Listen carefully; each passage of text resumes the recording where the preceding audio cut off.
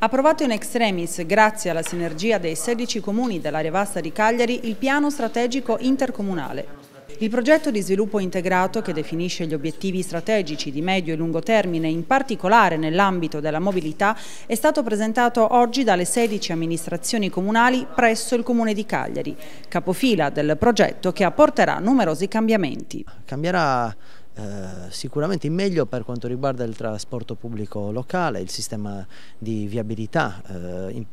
a partire dalla 554 con nuovi svincoli, con l'eliminazione degli incroci, degli incroci a raso per quanto possibile e, delle, e, dei semafori che rallentano la circolazione. La metropolitana leggera che da Settimo San Pietro eh,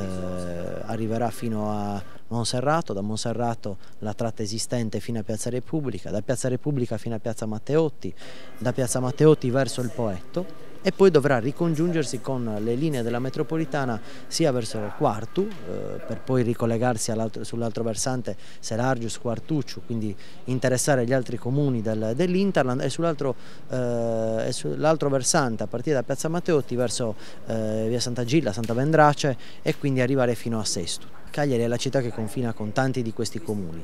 Il, come i dati statistici che abbiamo presentato l'altro giorno, il, i flussi di cittadini che vanno a vivere nell'Interland eh, e questo fenomeno non si è ancora arrestato,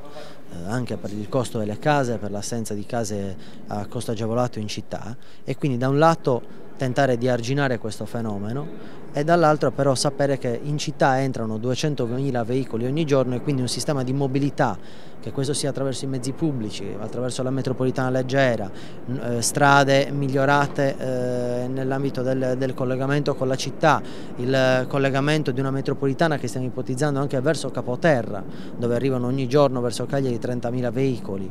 e piste ciclabili e eh, zone pedonali consentiranno di avere una migliore qualità della vita e ai cittadini di risparmiare i 2 euro di benzina al litro. Il piano strategico intercomunale costituisce un importante strumento di accesso alle risorse finanziarie messe a disposizione dall'Unione Europea, in assenza del quale le stesse risorse sarebbero andate perse, come accade negli anni dal 2000 al 2006.